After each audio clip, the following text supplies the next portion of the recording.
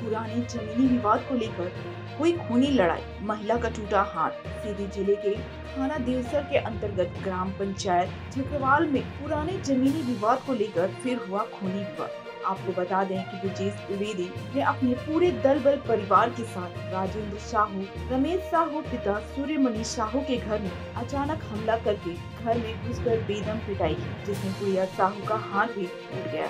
रमेश साहू एवं राजेंद्र साहू के सिर में गहरी चोट आई, जिससे खून का बहना बंद नहीं हो रहा एवं उन्हें ट्रामा सेंटर बैरहन भेजा गया, जिसमें अभी वह होश में नहीं आए हैं। प्राथमिक चिकित्सा सामुदायिक स्वास्थ्य केंद्र देवसर में हो रही थी, तभी अचानक फिर से पूरे दल बल के साथ ब्रिजेश द्विवेदी और उनके घर परिवार वाले आकर अस्पताल में घुसकर दोबारा मारपीट की जिसमें राजेंद्र साहू की स्थिति बेहद गंभीर बताई जा रही है। पीड़ितों का कहना है कि इस घटना को पूरी साजिश के तहत अंजाम दिया गया है। पीड़ित परिवार वाले आज देवसर चितरंगी चौराहे पर न्याय की गुहार करेंगे। इस घटना को लेकर आपकी क्या राय है? कमेंट बॉक्स में कमेंट कर ज़रूर बताएँ। और यदि हमारे चैनल को नए हैं तो चैनल को सब्सक्राइब करें बने रहने तो खबरदार न्यूज़ के साथ। धन्यवाद।